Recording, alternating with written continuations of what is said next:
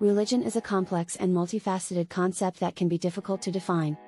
At its most basic level, religion is a set of beliefs and practices that involve the worship of one or more deities, spirits, or other supernatural entities. These beliefs and practices often include the creation of sacred texts, rituals, and moral codes that are intended to guide individuals and communities in their daily lives. The history of religion is as old as human civilization itself. Many ancient cultures had religious beliefs and practices that were closely tied to their understanding of the natural world. Over time, these beliefs and practices have evolved and diversified, giving rise to the many different religions that exist today. There are many different religions in the world, each with its own unique beliefs, practices, and history.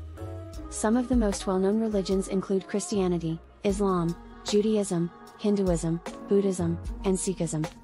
Each of these religions has its own set of sacred texts, rituals, and moral codes, and they each have their own unique ways of interpreting and understanding the world. In terms of the likelihood of it being true, it depends on one's beliefs and perspective. Some people believe in one religion and consider it true, while others do not believe in any religion or consider many different religions to be true. The concept of truth in religion is a complex and multifaceted one, and it is often a matter of personal belief and interpretation. Religion also plays an important role in the culture of many societies. It can shape the way people think, feel, and behave, and it can also influence the way that society is organized.